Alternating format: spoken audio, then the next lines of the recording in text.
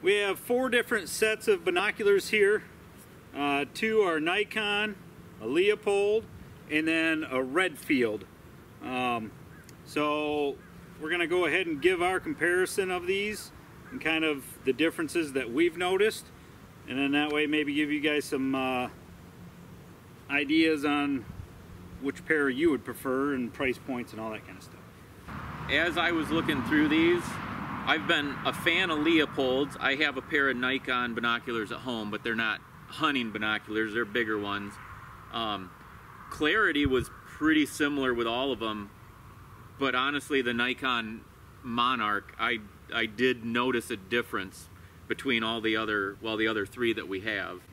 I liked the Redfields for as far as price point. Yeah, so pricing wise, these you can pick up for around a little over a hundred dollars. Um, these Leupolds, I believe these are kind of an older pair. Uh, these are all 10 by 42s. Um, I believe these were around 500 bucks years ago. Um, these are around a thousand, and then I think these weren't too much off of that. So these are, like I said, these are called the Nikon Monarch HG, and then this was the Nikon Premier. Um, and your field of view, uh, these are a 6 degree, these are 6.9, these are 5.1, and these are 6.5. And the Redfield, for the price point, these are a really good binocular.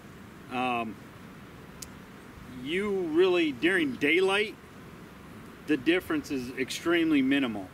Now, maybe for glassing a lot, these, for me, not so much Steve, I have a lot of problem with when I glass for even five to 10 minutes over a few hours of hunting, um, I seems like I get some headache or my eyes hurt um, from glassing. So I'd imagine these would probably give me a similar issue if I use these during hunting. Um,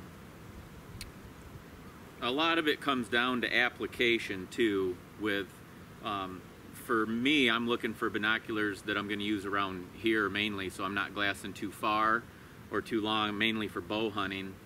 And those Redfields for the price point I, I myself am more in this price range.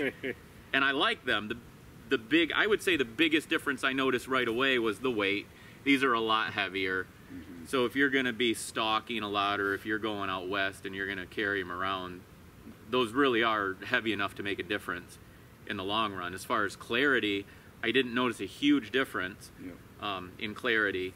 The eye guards work a little harder with this one, with the cheaper model, the Redfield, than they do with some of these others like yeah. the Nikon. Yeah, the Leupold is like extremely smooth.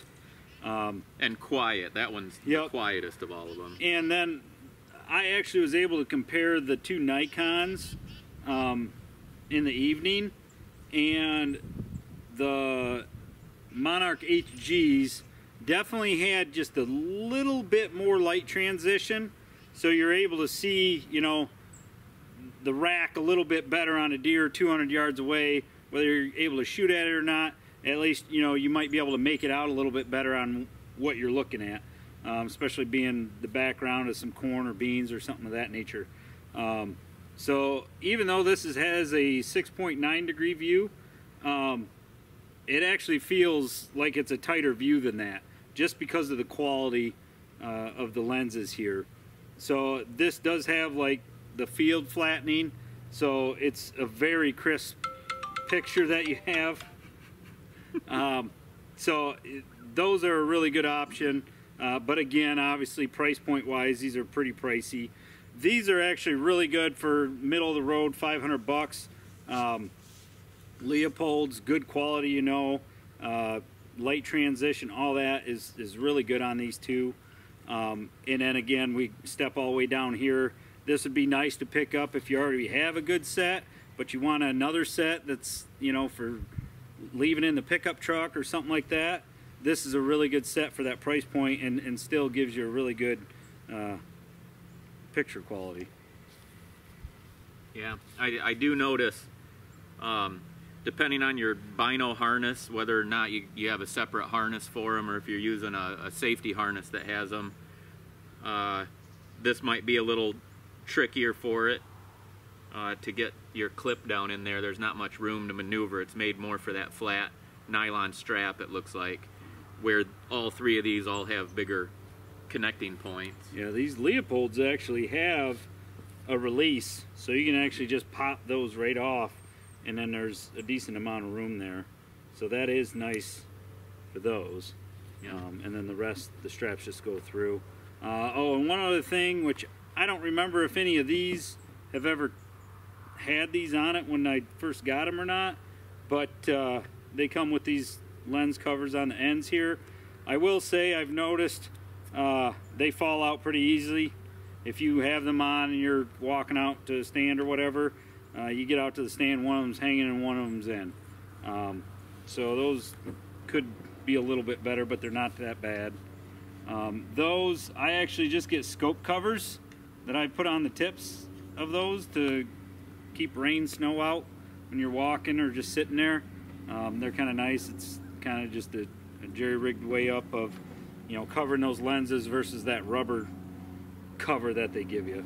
I did notice just looking through all of them with the sun coming down, we noticed there was a big difference with the higher end uh, Monarchs cutting the glare down from the sun compared to the others. And one thing I did notice, even though these eyepieces all look about the same, I had an easier time getting into these to get a good focus, a good Right. feel, than I did with these, almost like eye relief on a scope.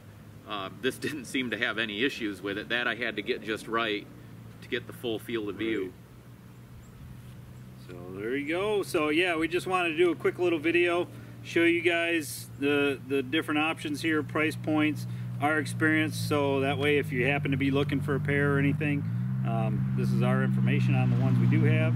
And if you have any questions or anything, go ahead and hit us up in the comment section, and we'll try to answer anything we can. Or you know, if we know somebody that does have a pair that maybe you're looking at, we can try to get some info back to you. All right. Thanks for watching. Please subscribe to our channel, and we'll get some more content for you soon. Yep. Good luck hunting.